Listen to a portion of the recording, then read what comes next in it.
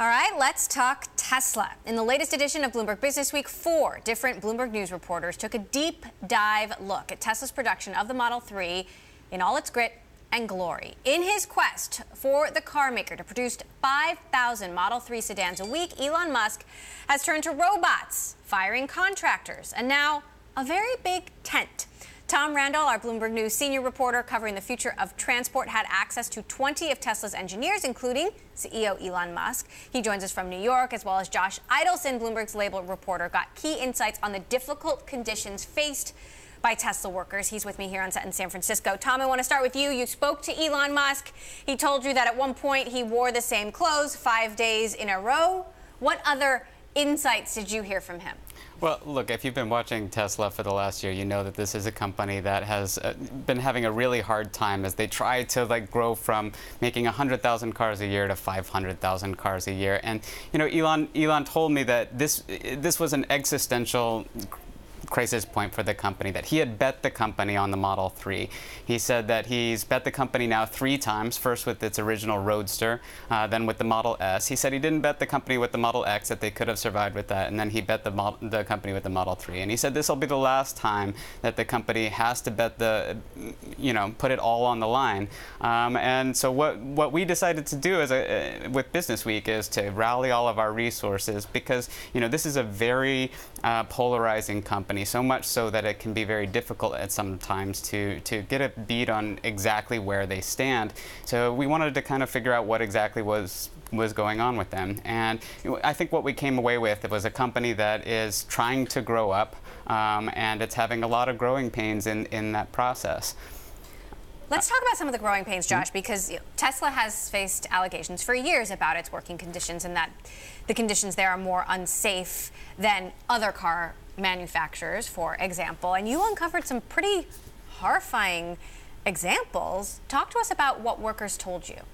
One of the incidents we wrote about took place in late 2016. There was an injury with a forklift that OSHA had described as an ankle fracture, but we found out that in the investigation, OSHA had not interviewed the actual injured employee, and that according to people who spoke to him and photos that we saw. In fact, his leg was amputated after this forklift accident. So lots of problems there, uh, not the least of which is a government organization not following up with the actual victim of the accident, correct?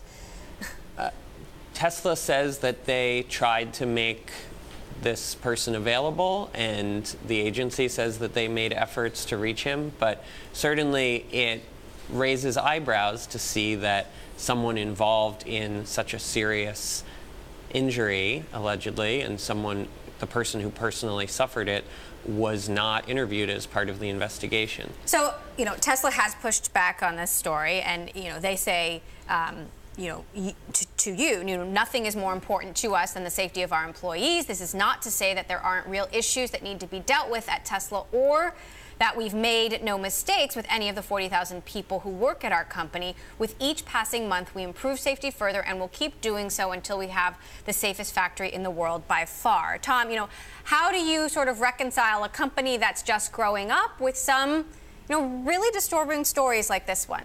Well, you know, First of all, automaking is a very difficult uh, and sometimes dangerous process. Um, you know, four people died last year at various auto companies across the United States, and you know, I think Tesla's Tesla says that they are working very hard and take take uh, safety very seriously, and they point out that uh, during the Model 3 production, their um, their safety statistics have actually improved significantly. That they're now um, below the industry average on on incident rate.